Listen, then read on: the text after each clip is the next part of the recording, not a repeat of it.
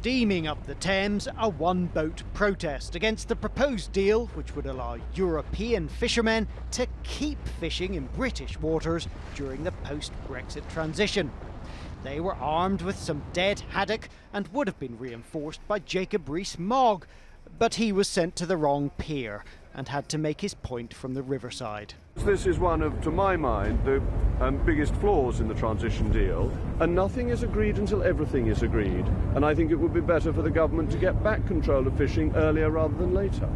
Although he missed the boat today, Rees Mogg is one of 13 Conservatives who, along with the DUP MP, have written to the Prime Minister saying the current fisheries deal is unacceptable and would be rejected by Parliament. This started off looking like it was a shot across the Prime Minister's bows, or at least some dead fish. But with Tory MPs now apparently threatening to vote against the EU withdrawal bill, it could be getting more serious.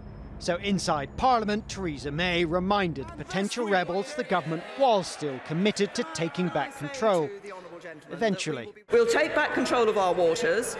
We will ensure that we don't see uh, that we don't see British fishermen unfairly denied access to other waters, and we want to rebuild our fishing industry. Out on the river, someone else took control. Nigel Farage had appeared and was using the deceased fish to protest at the waste caused by the fisheries policy. The whole thing is a disaster.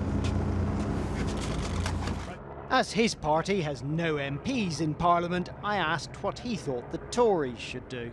Should Conservatives vote against the transition if the common fisheries policy is included? Well, they've got to make, I mean, listen, they've got to make themselves heard. And by the way, we didn't vote for a transition period anyway.